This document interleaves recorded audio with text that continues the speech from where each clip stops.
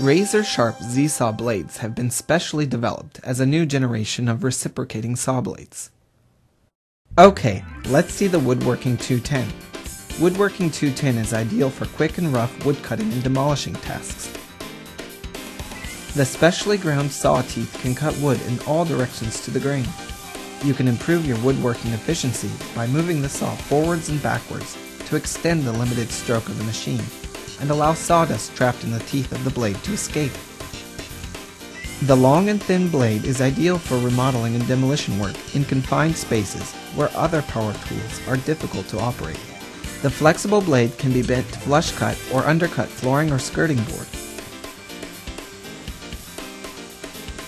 The special foreteeth can dig out a slot anywhere on the board, so a pocket hole for accommodating switch boxes can be easily cut out without pre-drilling pilot holes.